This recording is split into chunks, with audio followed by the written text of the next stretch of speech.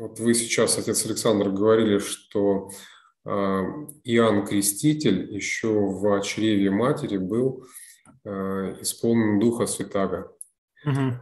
А вот Христос а, тоже в общении со своими учениками говорил, что Иоанн, он величайший из пророков, он как бы ангел, посланный с неба, угу. но меньше его в Царстве Божьем больше угу. его. Вот о чем здесь э, говорят слова Иисуса Христа. На самом деле здесь речь-то идет об очень простых вещах, вот, что а, больше он Христа в каком смысле, что он его старше просто на 6 месяцев.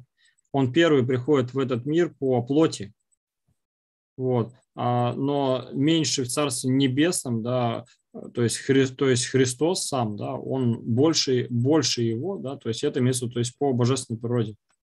Вот, то есть здесь на самом деле а, речь именно об этом. Вот, то есть, как бы, и еще есть такое объяснение, да, что а, как бы а, больше в глазах народа, да, как бы Иоанн Креститель кажется, да, но тот, кто меньше в глазах народа, Христос, о котором еще пока не знают, да, он на самом деле больше по божеству. Кстати, именно поэтому Иоанн Креститель, да, он тоже впоследствии будет говорить, что я только друг жениха, ему должно расти, а мне умоляться. Вот, то есть а, а, расти в плане того, что народ должен в итоге пойти за Христом. Его чудеса, его жизнь, его земная жизнь должна была впоследствии да, как бы привлечь людей. Да. То есть вот, э, вот такие два понимания можно выделить в этом вопросе.